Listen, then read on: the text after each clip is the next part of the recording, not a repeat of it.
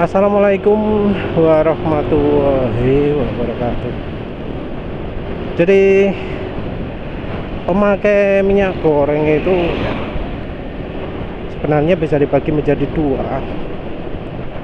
Yang satu Ironinya ya Yang ingin bersihkan kerak di mobilnya.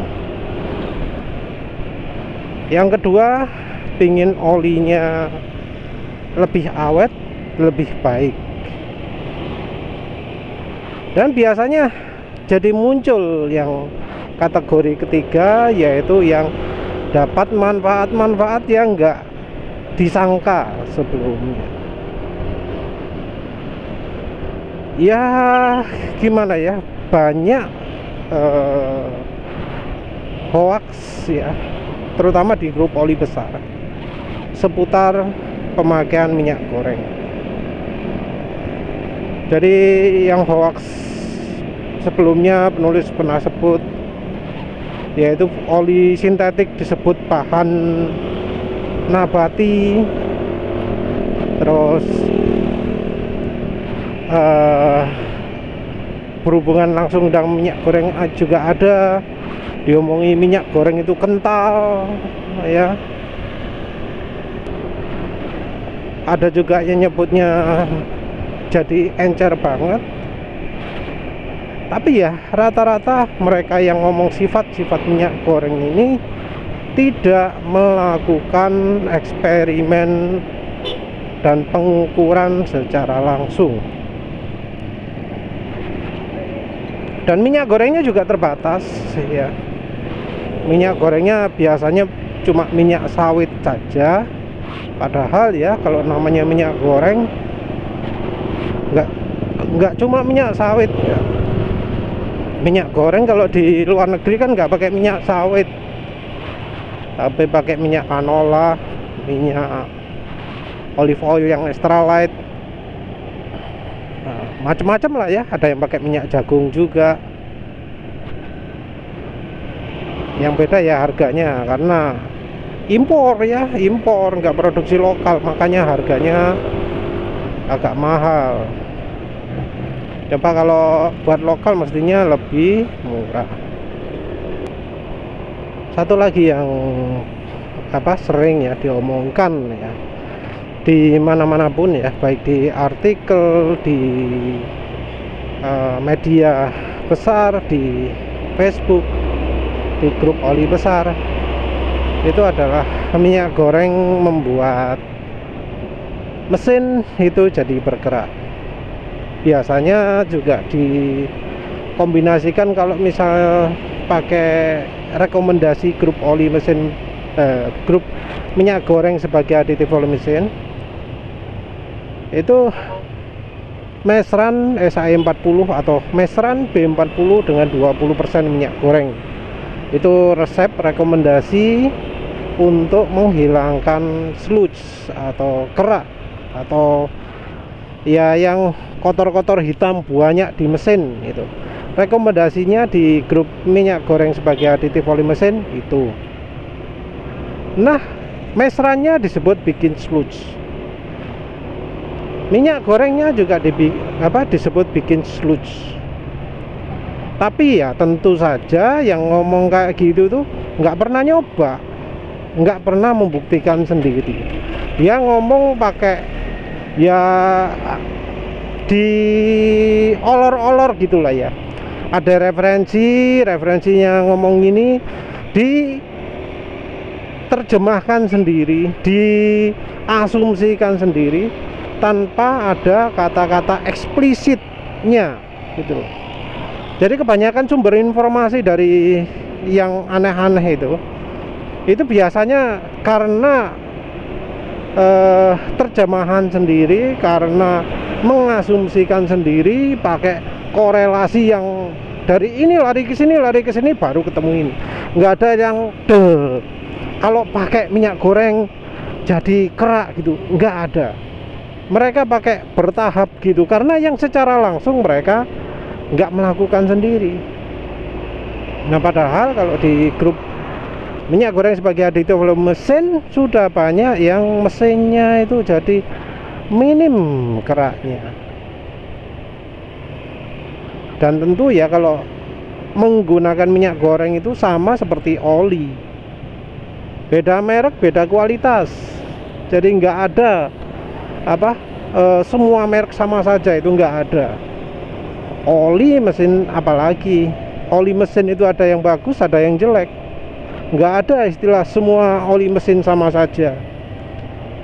Walau ya sayang sekali di grup oli besar seringnya ngomong seperti itu.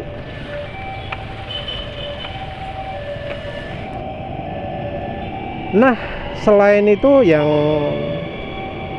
sering lagi diomongkan itu adalah menurunkan performa. Hmm, sorry bukan bikin oli nggak awet jadi disebut kalau sudah pakai minyak goreng itu bi bisa merusak mesin. Seringnya ngomong gitu. Jadi kalau sudah campur minyak goreng pasti oli akan cepat sekali rusak gitu ya. Jadi umur oli cuma bukan cuma umur oli ya mereka ngomongnya umur motor. Pakai sekarang besok rusak. Bulan depan uh, turun mesin. Minggu depan turun mesin. Jadi mereka ngomong nakut-nakuti seperti itu. Walau ya walau. Kalau mereka ditanyai time frame yang jelas gitu ya mereka nggak berani ngasih.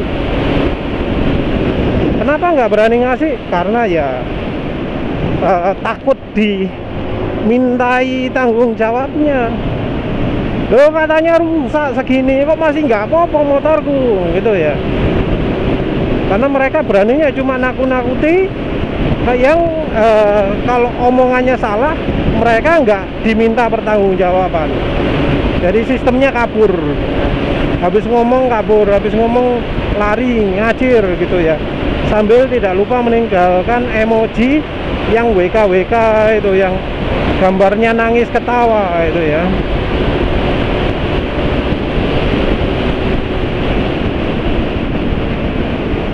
Jadi biasanya kan seperti itu ya.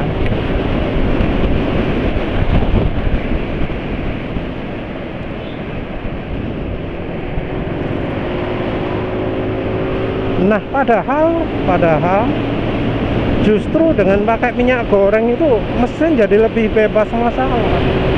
Bahkan yang pakai oli standar pun, oli apa pabrikan pun itu kalau sudah ditambahi minyak goreng yang terjadi adalah suara mesin lebih halus, performa lebih oke. Okay. Karena memang secara film strength, secara lubricity-nya minyak goreng itu lebih baik jadi pasti dengan meningkatkan seperti itu kemampuan olinya jadi akan meningkat. Itu faktanya.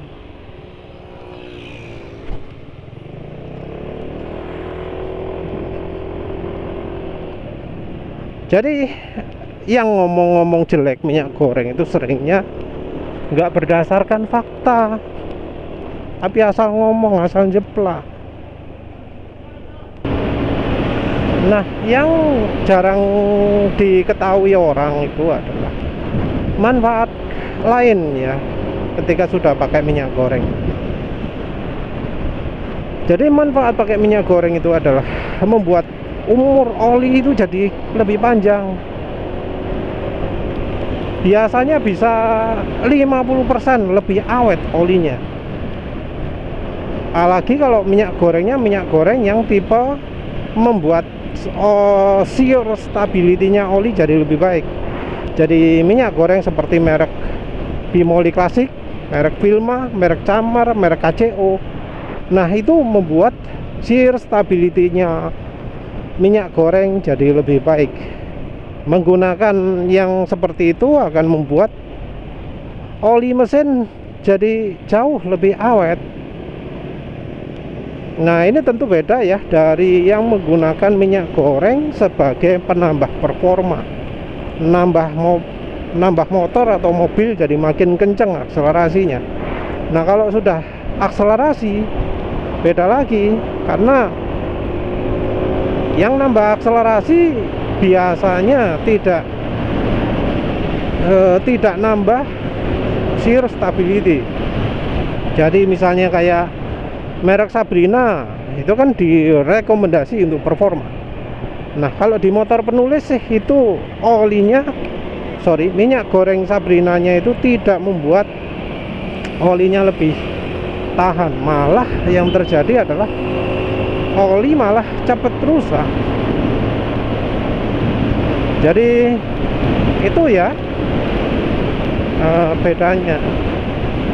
Dan uh, perhatikan juga bahwa kalau pakai oli yang enggak rekomendasi seperti merek Fortune, merek Sania, Sofia apa mana ya? Lupa. Terutama buatannya Wilmar ya. Itu yang terjadi adalah kemampuan olinya malah berkurang. Jadi nggak bisa antem rata semua minyak goreng sama saja. Tapi ada merek yang baik dan ada merek yang nggak baik. Terus selain dari uh, oli jadi makin awet sampai 50% ya kalau menurut penulis. Ini baik untuk motor NMAX ini ya ataupun untuk motor yang lain yang enggak penyakitan seperti ini. Jadi misalnya di Next 2 di Beat itu juga bikin oli makin awet. Wes di ini aja lah di motor NMAX saja. Oli meseran SAE 40 SAE 40 kalau tanpa campuran minyak goreng itu cuma tahan 600 km kira-kira kayak gitu itu su suara mesin sudah ya mungkin kayak gini nih wis. Wis agak kasar. Tapi ini suara mesin kasar karena pemakaian penulis lebih ekstrim dari biasanya ya. Karena tadi aja penulis geber gitu kan ya. Dan itu sudah berkali-kali. Oli kalau digitukan itu cepat rusak. Apalagi karena motor penulis fuel dilution. Dan kayaknya businya ini kalau pas RPM tinggi sempat bosong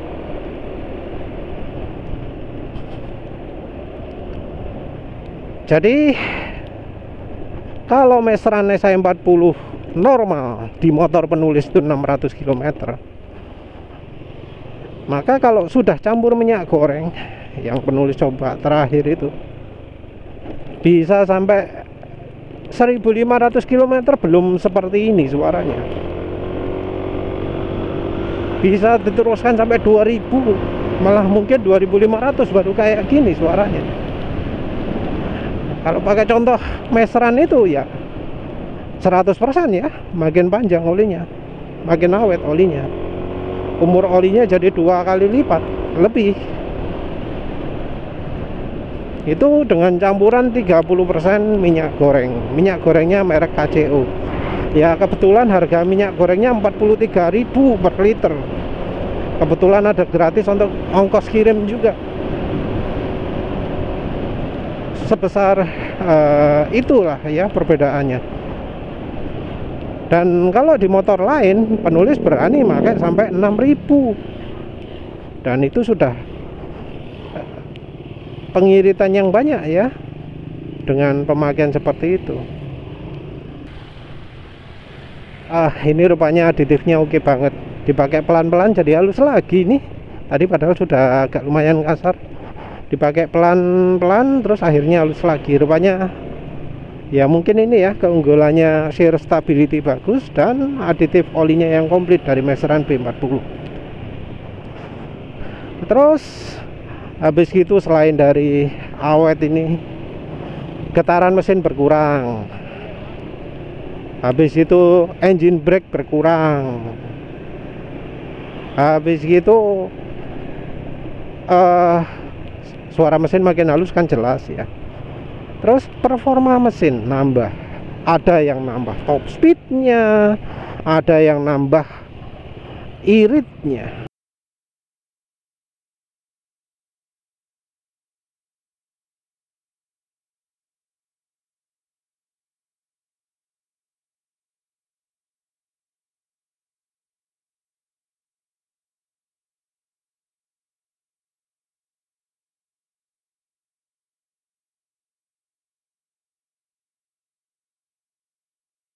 jadi top speed ada yang nambah misalnya dari 90 km per jam jadi bisa 100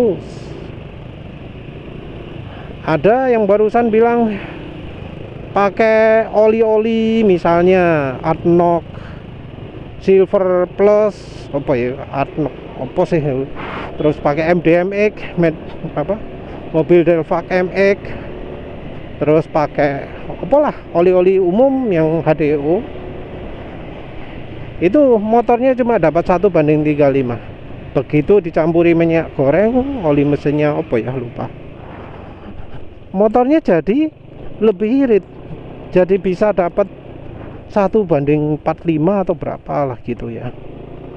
Udah lumayan banget peningkatannya dari 35an jadi lebih dari 40an nah manfaat itu yang jarang sekali orang tahu padahal cuma pakai campuran minyak goreng bisa bikin motor lebih irit.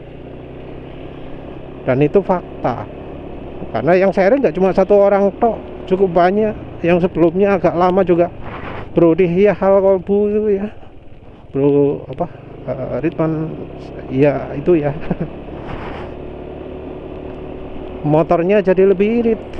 Motor GSX olinya oli standar begitu dicampurin minyak goreng mesin jadi lebih halus performa lebih oke. Okay.